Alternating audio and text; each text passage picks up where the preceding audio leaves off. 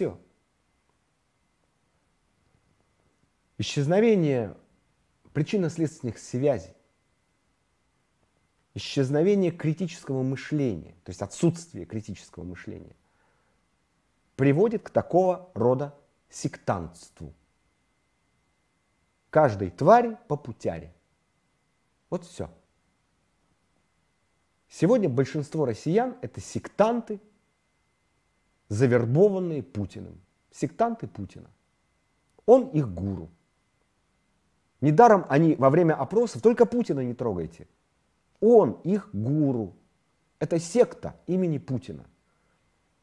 Но, как правило, члены тоталитарных сект заканчивают очень плохо.